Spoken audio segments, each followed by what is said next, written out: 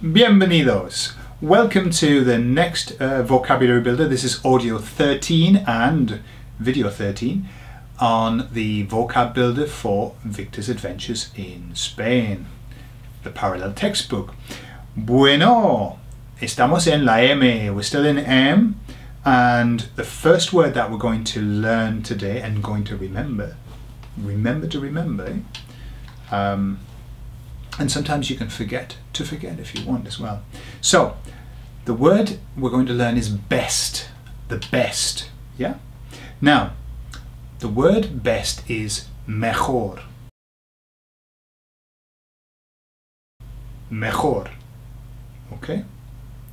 So, um, the way to remember that, mejor looks like major, doesn't it? Um, and so you can think, well, it's the majorly best one. This is the majorly best one. Mejor. Okay, there's another way of remembering it, but that's far too rude and I'm not going to go into it. So, the majorly best one. Okay, mejor. Hace tanto calor que estoy sudando mucho, mucho, mucho. It's so hot, I'm sweating under these lights, and, and it's a really hot day as well. Bueno. Okay, so mejor is the best. Okay? The majorly best one. Then we've got message. Message. And this word is mensaje.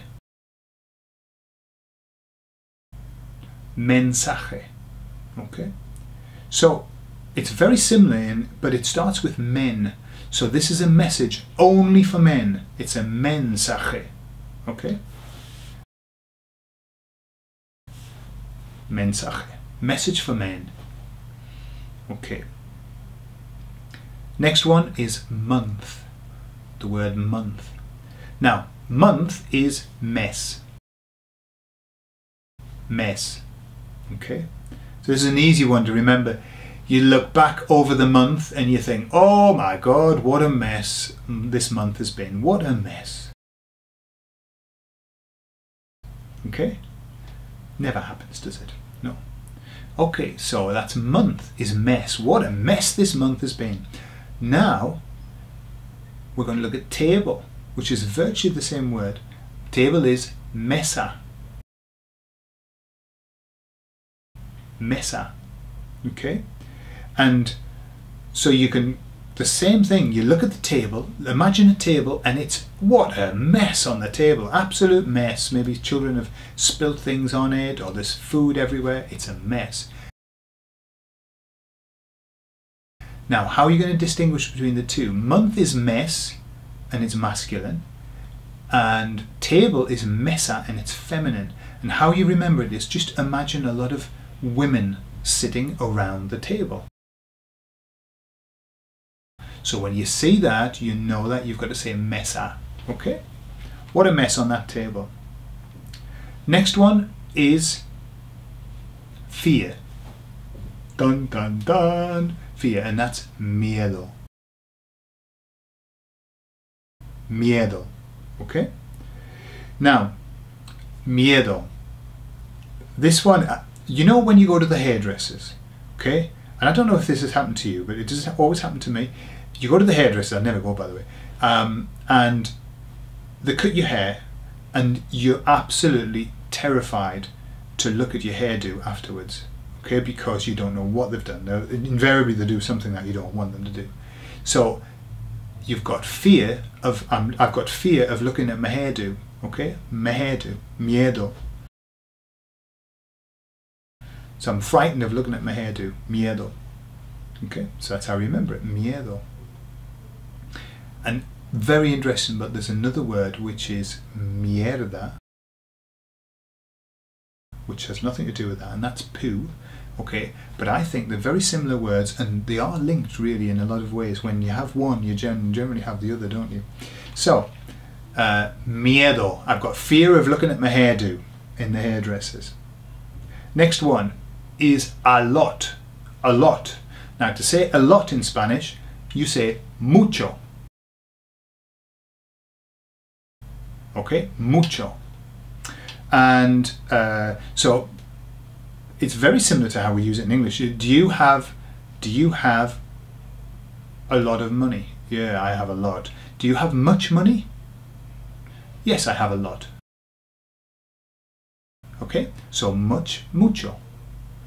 Okay, and we're going to come to another one that you mustn't get mixed up, and lots of people get them mixed up, but it's very similar in English. Mucho, a lot. When you think of the word a lot, mucho. I've got much. Okay. Next one is world.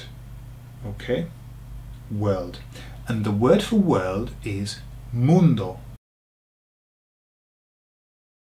Mundo. Okay, lots of languages have a very similar uh, word. So mundo.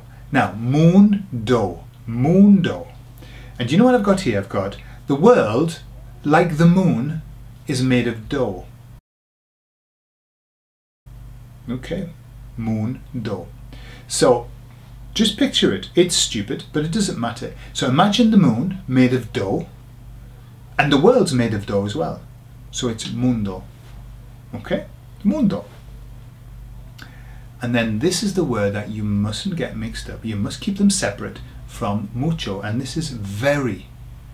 Okay? And the word for very is muy. Muy. Now, how you pronounce it, it sounds very much like M W E E. Muy. That's pretty much how you say it, okay? And I always used to think of, eh, if you don't know Cornwall, the south of England, the accent that comes from there, but basically when they say my there, they say this word.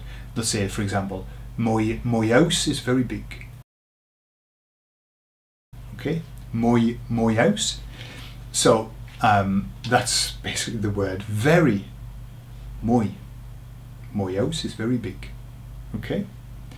So don't get that mixed up with mucho, okay? So, um, I'm very happy. Estoy muy contento, okay? I have a lot of money. Tengo mucho dinero. So one's a lot, mucho, and one is very, and pretty much as in English, okay? Um, bien. So let's test you out now and see how much you've remembered. Um, what is mejor? Mejor. Yeah, it's majorly the best one. Mejor is best. Next, mensaje. Mensaje. What are only men receiving? A message. Mensaje. Okay. What about this one? Mes. Mess. Back. What a mess this month has been. Mess is month. And so what is mesa? Exactly. Table. Did you see the women sitting around it as well? The messy table? Mesa. What about this one? Miedo. Miedo. Fear. Fear of my hairdo. Okay. Um, next one. Mucho.